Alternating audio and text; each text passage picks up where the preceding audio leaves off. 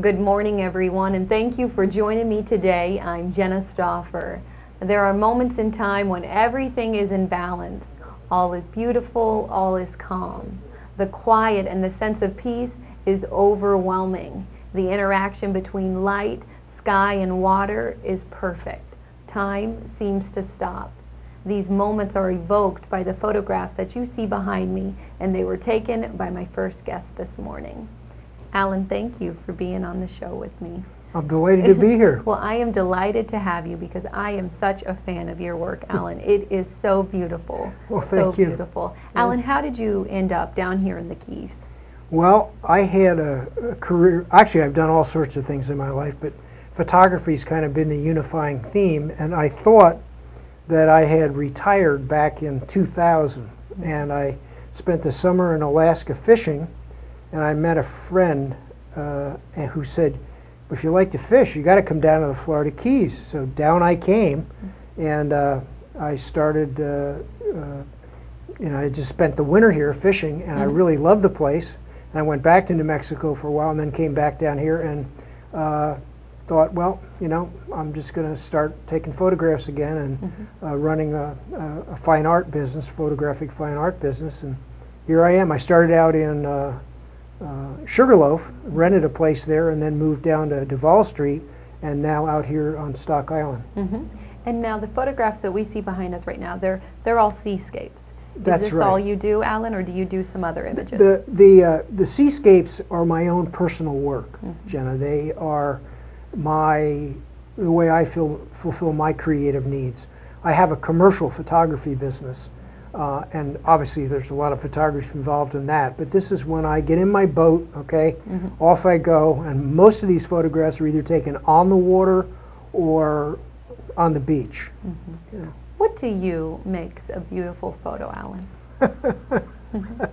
That's a great question. Um, it's kind of the way you started out with the preamble. It's like when a lot of things come together.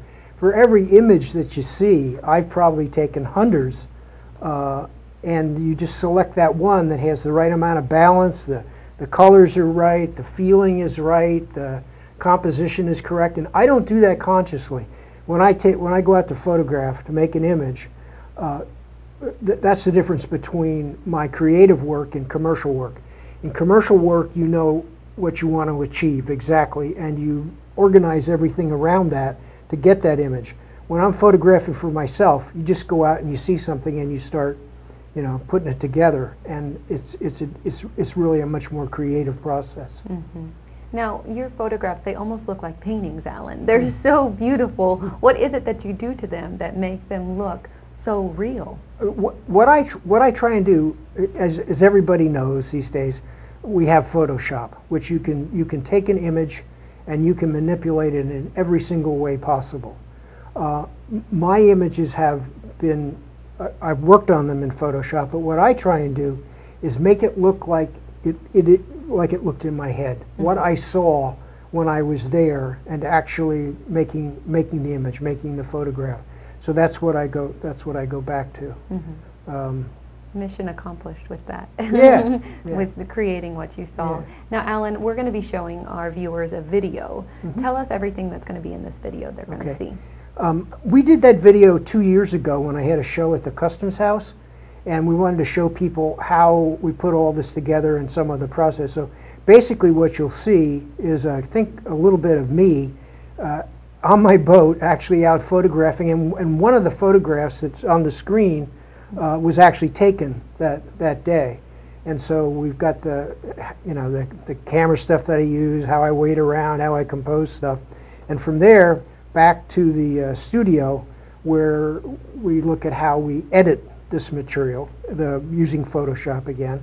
And then finally to the process where we're printing it on canvas. And then the very final thing we do, which is uh, spray it to protect it, and then we stretch it on stretcher bars, and we have the finished thing. And it's interesting. A lot of people do say that looks like a painting, but it's not. It's just, it's just a photograph. Mhm. Yeah. A photograph that is so, so beautiful. All right, thank you, Alan, for being on this morning. And again, our viewers will get to see after these message messages the video of how exactly the photograph comes to see what you see behind us on the screen. I'll be right back after this. Stay with us.